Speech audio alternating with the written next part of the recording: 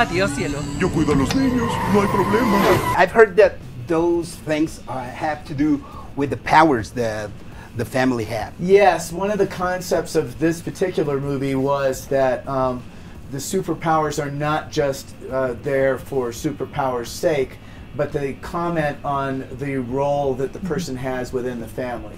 Um, men, uh, fathers are always expected to be uh, strong, so he has super strength.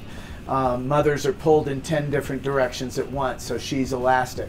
Teenagers are uh, insecure and defensive, so we make her able to turn invisible and have force fields. 10 year old boys want to press every button and open every door in every house.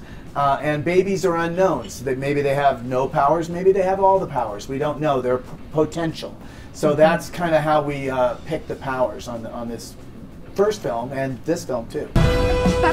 Creo que no es así como debes hacerlo. Quieren que uno lo haga así. No sé cómo hacerlo así porque cambian las matemáticas.